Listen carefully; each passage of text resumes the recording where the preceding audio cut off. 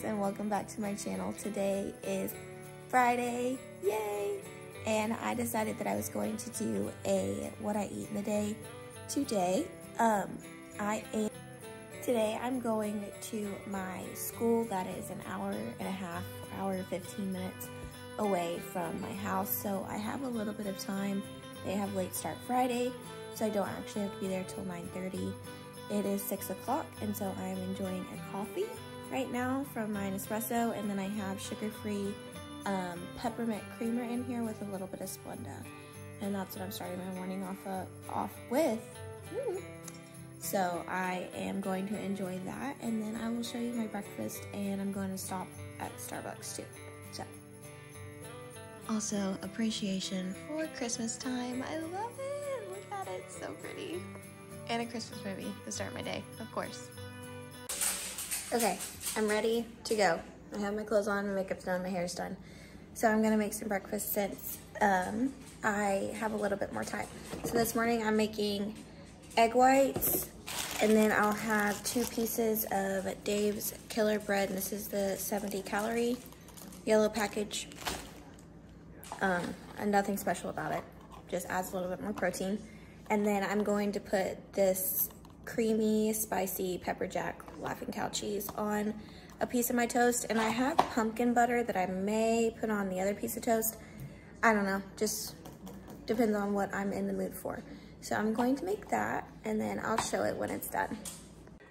Okay, so I decided um, to put this pumpkin cream cheese from Trader Joe's, Trader Joe's, wow, on one of my pieces of toast and then butter on the other.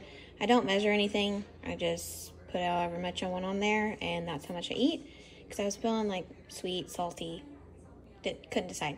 And then I decided to make one full egg with um, six tablespoons of uh, egg whites, which is six tablespoons of egg whites is like 10 grams of protein.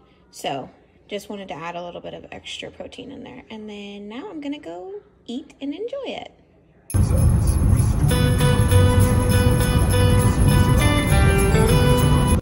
Forgot to show this, but I got a venti peppermint mocha with almond milk and only three pumps of peppermint, three pumps of mocha, no whip, and no dark chocolate chip um, curls that I just got to the school, so I'm going to head in and get started on my day.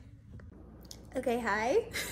I'm obviously home, but work was so busy I had to eat while I was in therapy with a kid, so I didn't get to show you my lunch, but it was ground turkey, um, jasmine rice, and just steamed broccoli. So nothing too crazy.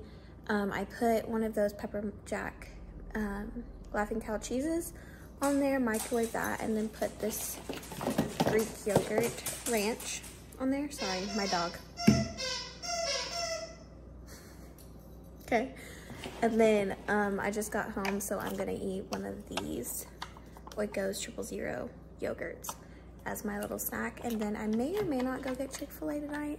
It depends on how I feel and if I want to go back out into the real world and out of my house. So I am going to eat this and then I'll show you dinner when I have that.